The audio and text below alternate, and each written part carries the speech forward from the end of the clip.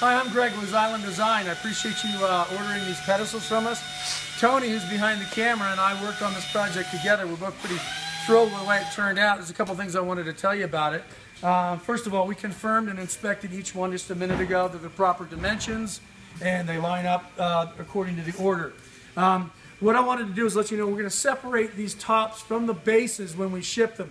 And I know it's a little bit of a pain to put it together. It shouldn't be much trouble, but we're really concerned that the trip could damage the um, joint here.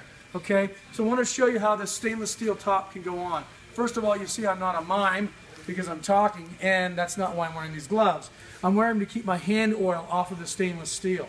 So when you get this, unpack your base, get your top unpacked, and you'll see we put a little uh, mark here uh, that's just under an inch and a half deep, okay?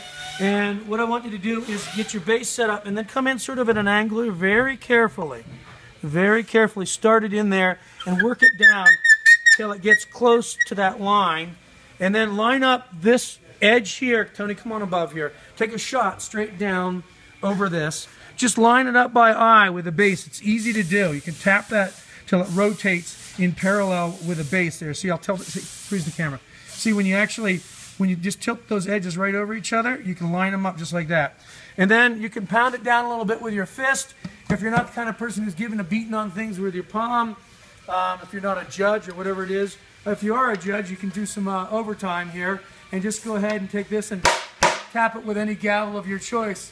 Um, you know, it could be a six-inch stiletto or a hammer, whatever you got sitting around the house. So we appreciate your business. We'd love to see a picture of what you've got um, put on them.